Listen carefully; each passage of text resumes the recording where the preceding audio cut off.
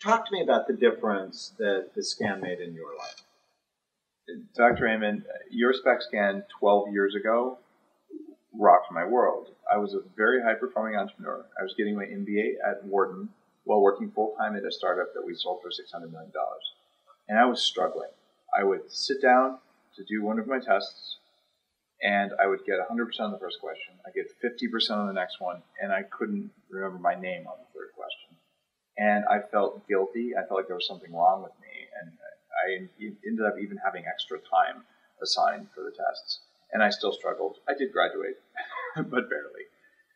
During that time, I read your book, your first book, and I said, I'm going to get a scan. And I did.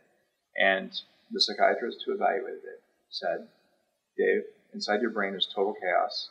I don't know how you're standing here in front of me. You have amazing camouflage. And that led to me going, it's not me. It's my meat. It's my biology. And that was something that you can fix, something you can repair. So it turned from being a lack of effort or lack of willpower or just being a bad person into being someone who had a medical issue that could and would be dealt with. So that opened the door to let me perform at levels that most people are, are amazed by. And that I'm 41. I'm running a successful company. The Bulletproof Radio podcast reaches millions of people. And I've had the opportunity to interview experts like you and, and to get to know you and uh, to help hundreds and hundreds of thousands of people. Without your scan at the beginning, I never would have gone there. So thank you. If somebody was thinking about coming to the clinic to, to get a scan, and, and they read some of the noise on the internet, what would you say? Everyone who's making a difference, there will be a handful of critics.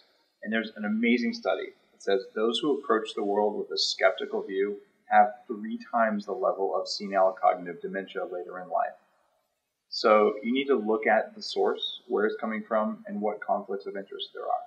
Because when I look at critics online, there are very angry people who obviously need the most brain scans, and there are people with a conflict of interest. And those are pretty much the only two kinds. And sometimes there are even connections between those people.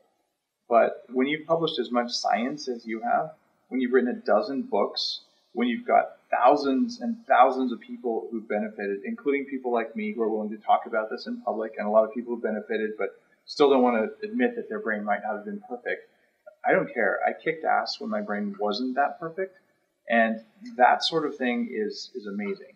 So when you get things like this interview and you look at all the other stuff out there and you get a few detractors, the detractors are a sign of success. And there's a couple of guys who taught me this. One is Peter Sage, who's a, a famous, well-known entrepreneur doing some incredibly big world-changing things. And the other is Tim Ferriss, the guy who wrote Four Hour Body, Four Hour Work Week. And both of them have an approach to critics and skeptics that, that's pretty similar, which is that it's a sign that you're changing the world. So, to people who are thinking of coming and getting a scan and they see some somewhat rant somewhere online, balance the evidence, and the evidence is very clear.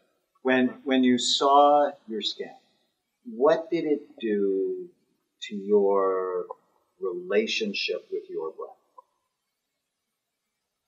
my relationship with my brain changed a lot because I don't identify myself as being my brain. And when, to this day, something happens that I don't like that isn't like me, what did my brain do? Not what did I do?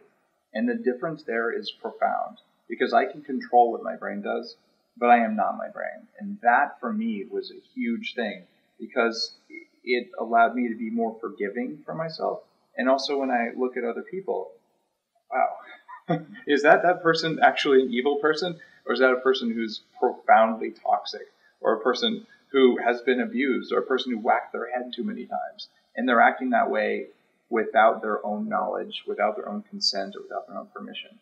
There is so much of that behavior in the world around me and around us, but people are unaware of it. Their medical professionals are unaware of it. Their psychologists, their spouses, their children so there's a lot of people feeling terribly guilty about things they've done who don't know there's a biological basis for their behavior. It's not a personality defect. That can be healed if you do the right thing. Absolutely. I, am living proof of this. That's awesome. Thank you, Thank you, Dr.